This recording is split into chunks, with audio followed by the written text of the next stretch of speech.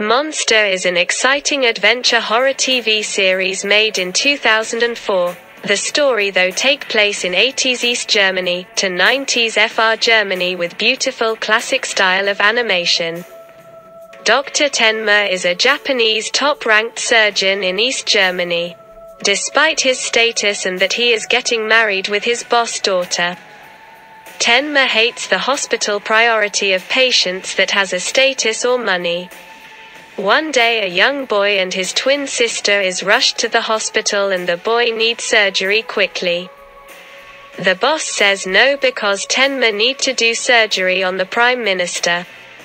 Tenma ignore the orders and do surgery on the boy instead. Years later and East Germany and West Germany has become one.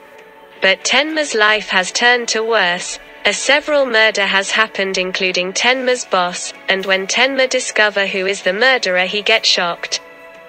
It is the boy he rescued who is now full grown and has become a psychopath killer. He is no longer a boy and he is not a man but a monster. It's very heart feeling story. And when Tenma search for the murderer you feel for him, you understand the pain he goes through, especially that he is the one who rescued him. However sometimes the plot goes a little too long.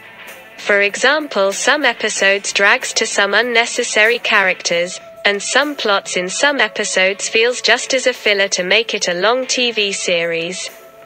The animation is wonderful and brilliant. You can feel the 90s even though it was made in 2004. They took a lot effort to find what typical 90s like the phones, the TV, all that, and also how Europe changed from 80s and 90s. Despite some episodes feel like too long, it still keep you going till the end. Total score 9 out of 10.